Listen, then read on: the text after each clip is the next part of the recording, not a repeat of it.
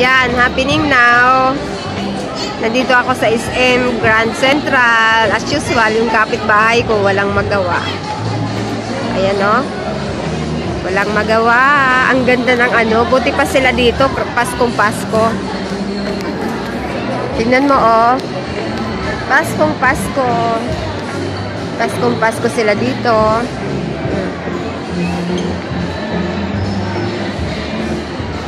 Pinagkaguluhan ng decoration nila.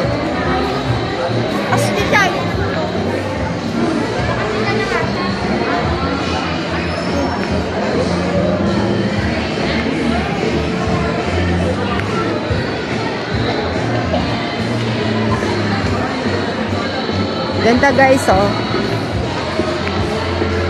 Oh, yun oh. Buti na lang wala akong gasto sa ano. Kay SM, walking distance lang as in kapitbahay.